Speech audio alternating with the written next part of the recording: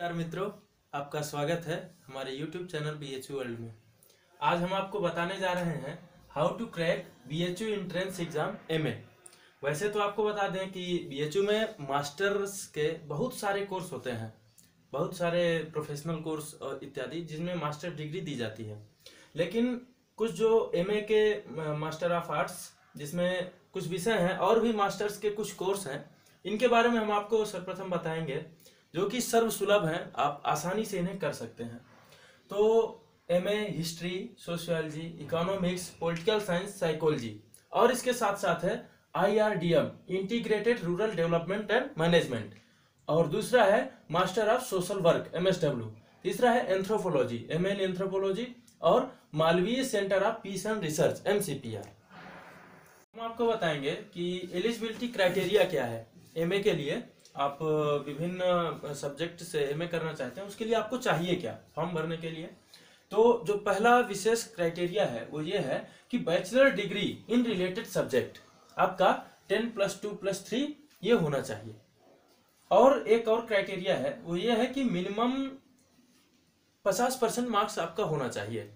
जैसे कि आपको पॉलिटिकल साइंस में एमए करना है तो आपका जो बीए है बीए कोर्स है, उसमें आपका बैचलर में पॉलिटिकल साइंस होना चाहिए कोर सब्जेक्टों में। और यदि ऑनर्स हो तो और अच्छा है। तो ये मिनिमम एलिजिबिलिटी क्राइटेरिया है। और इसके अलावा अगर आपको और विस्तृत जानकारी चाहिए, बहुत सी चीज़ें हैं तो आप www.bhuonline.in में आप पीईटी नोटिफिकेशन में देख सकते हैं। मित्रों, अब हम बात कर लेते हैं total number of seat seats की, कि हर एक विषय में लगभग कितनी सीटें होती हैं। ये जानना बहुत आवश्यक है। तो आपको बता दें कि जनरली 80 सीट प्रत्येक सब्जेक्ट में लगभग लगभग होती हैं। और इस 80 सीट में कुछ बीएचयू कोटा होता है बी एच कोटा होता है। रिजर्वेशन सेम है, जैसे हर जगह है। तो इसलिए आप इसको 50 सीट मान के चलिए और बढ़िया से तैयारी करिए। और एक और बात बता दें कि जेंडर के आधार पर कोई रिजर्वेशन नहीं है। कोई लड़की है, लड़का है, सामान जैसे जो क्वालिफाई करेगा, वो एडमिशन पाएगा। और दूसरा चीज़ है कि हॉस्टल के लिए आपको आ, कितना सीट है? तो लगभग प्रत्येक सब्जेक्ट में 40 सीट हॉस्टल में है। तो लगभग आपको पचास फिफ्टी रैंक तक चाहिए हॉस्टल लेने के लिए। एम एंट्रेंस के क्रम में अब बात करते हैं एग्ज़ाम पैटर्न की। तो सबसे पहले बता दें कि क्वेश्चन कितना आता है। तो टोटल नंबर ऑफ़ क्वेश्चन 120 अब पूछता है। इसके पिछली बार 120 पूछा था। और इसके पहले 150 पूछता था। तो 120 क्वेश्चन प्रत्येक प्रश्न तीन नंबर का होता है तो 360 प्रश्न का तीन सौ साठ नंबर का टोटल क्वेश्चन पेपर होता है। इसके लिए टाइम आपको टाइम लिमिट दो घंटे है। दो घंटे पर्याप्त है तथ्यात्मक होता है दे सकते हैं। और इसके साथ साथ निगेटिव मार्किंग भी है। निगेटिव मार्किंग एक तीन की है अर्थात एक प्रश्न आपका तीन नंबर का है तो एक प्रश्न गलत होने पर एक नंबर काटा जाएगा। अर्थात तीन प्रश्न आपके यदि गलत होते हैं तो एक प्रश्न आपका सही कट जाएगा। मित्रों, अब बात कर लेते हैं स्टडी मटेरियल की। हम क्या क्या पढ़ें कि हम बी एंट्रेंस क्वालिफाई करें। तो सबसे पहले मैं बात करता हूँ टाइम की, कि आपको कितना समय तैयारी के लिए चाहिए।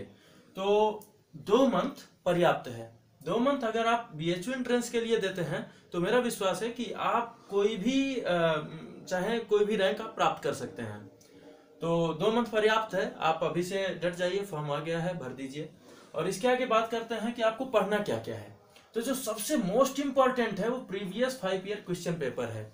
वो बी ऑनलाइन डॉट इन पे उपलब्ध है पाँच साल का, आप उस विषय का, जिस विषय में आप देना चाहते हैं एम एंट्रेंस उस विषय के पुराने पाँच साल के पेपर आप ज़रूर देख लें, क्योंकि उससे लगभग 20 से 25 क्वेश्चन आपको सीधे मिलेंगे।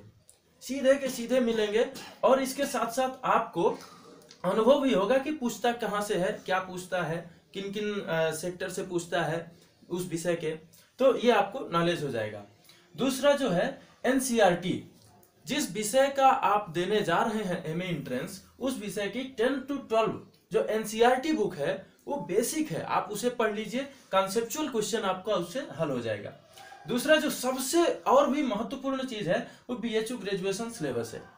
जिस विषय का आप देने जा रहे हैं एम एंट्रेंस उसी विषय का ग्रेजुएशन का सिलेबस क्या है, ये आप ज़रूर देख लें। गूगल पे नेट पे आपको उपलब्ध है बीएचयू का सिलेबस वो आप ज़रूर देख लें और इस सिलेबस को आप 15-20 दिन में 25 दिन में खत्म कर सकते हैं, क्योंकि आप जिस विषय का देने जा रहे हैं, आपने ग्रेजुएशन में उसे पढ़ा हुआ है। तो ये आप ज़रूर देख लें, क्योंकि ग्रेजुएशन के सिलेबस से के आधार पर ही एमए का प्रवेश परीक्षा बनता है। दूसरा, किरण पब्लिकेशन ये आजकल बहुत आ रहा है, इलाहाबाद पब्लिक इलाहाबाद से प्रकाशित होता है। लुसेंट को भी टक्कर दे रहा है। तो किरण पब्लिकेशन हर विषय की पुस्तकें बुकलेट निकाला है। हिस्ट्री की भी सोशियोलॉजी की पॉलिटिकल साइंस पब्लिक एड इत्यादि सब निकाल रहा है। तो आप इनको, इसको खरीद लें और छोटी सी बुक होती है, उसमें सारा सब कुछ दिया रहता है। आप इससे पढ़ेंगे तो मेरा विश्वास है, इससे आपको 120 में कम से कम 50 क्वेश्चन मिलेगा। दूसरा, प्रतियोगिता दर्पण। ये भी पुस्तक किरण पब्लिकेशन की ही तरह ये बुकलेट निकालता है। बुकलेट का मतलब अतिरिक्तांक निकालता है, जो विशेषांक होते हैं, विषय विशेष का निकालता है। जैसे 11 नंबर विशेषांक है सोशियोलॉजी का, इसी तरह तमाम सारे निकालता है। तो आप इसके भी देख सकते हैं। और इसके साथ साथ जो BHU ग्रेजुएशन सिलेबस है, इस सिलेबस में नीचे कुछ बुक बुक्स रिकमेंडेड हैं। उन बुक्स में कुछ अच्छी बुक्स हैं, आप सलाह ले सकते हैं। कमेंट बॉक्स में पूछ सकते हैं कि ये बुक अच्छी रहेगी या नहीं। तो आप ये इससे जो पुस्तकें हैं, उससे बाज़ार से लेकर के आप उन्हें पढ़ सकते हैं। और जो भी आपको इस विषय में समस्या हो स्टडी मटेरियल में, आपको जो चाहिए, जो आपको लग रहा हो कि क्वेश्चन पेपर में हम पढ़े हैं और इनमें नहीं मिल रहा है तो आप कमेंट बॉक्स में हमसे पूछ सकते हैं। हालाँकि इसको हम बार बार कहेंगे, किरण पब्लिकेशन का आप ज़रूर ले लें। ये मित्रों, अब इस क्रम में हम अंतिम बात कर लेते हैं कट ऑफ़ की। तो कट ऑफ़ से पहले मैं बात कर लेता हूँ कि अप्लीकेंट लगभग कितने आते हैं। तो अलग अलग विषय में अलग अलग संख्या है लोगों की फॉर्म भरने की, लेकिन लगभग दस हज़ार आपको हर विषय में फॉर्म आता है। तो ऐसा आप सोच के आइए कि आपको दस हज़ार को काटना है और टॉप फिफ्टी में जगह बनानी है। तो कोई कठिन नहीं है, दो महीने पर्याप्त है, आप आप तैयारी में लग जाइए। और कट ऑफ़ की बात करें तो टोटल 360 नंबर का आपका अब हो रहा है आपका प्रवेश परीक्षा। तो 220 प्लस अलग अलग विषय में अलग अलग कट ऑफ़ जाती है। प्रश्न सरल और कठिन होने के आधार पर हर वर्ष कट ऑफ़ ऊपर नीचे भी होती है। लेकिन आप 220 प्लस जनरल हैं तो 220 प्लस सोच के करके आइए और आप यहाँ पर एडमिशन लीजिए। और ओबीसी एक सौ पंचानवे, दो सौ के आसपास आप प्लस सोच करके आइए। अगर आप ओबीसी कैटेगरी से बिलोंग करते हैं तो आपका यहाँ प्रवेश निश्चित मानिए। और एस सी एस टी एक सौ सत्तर एक सौ सत्तर आइए तो आपका यहाँ प्रवेश परीक्षा आपका निश्चित है। तो ये कट ऑफ़ है। तो जो आपको सूचना देनी थी, हमने एमए के विषय में दिया, और भी बहुत सारे विषय होते हैं, कुछ छूट गए होंगे। आप जानकारी ले सकते हैं, अथवा जिस विषय के विषय में आपको जानना है या डालना है तो आप कमेंट बॉक्स में कर सकते हैं। और अभी तक आपने सब्सक्राइब ना किया हो तो चैनल सब्सक्राइब कर लीजिए। और मैं अपने बारे में बता दूँ, मैं महेंद्र पांडे परा स्नातक द्वितीय वर्ष सोशियोलॉजी से हूँ मैं, और ग्रेजुएशन भी यहीं से किया है।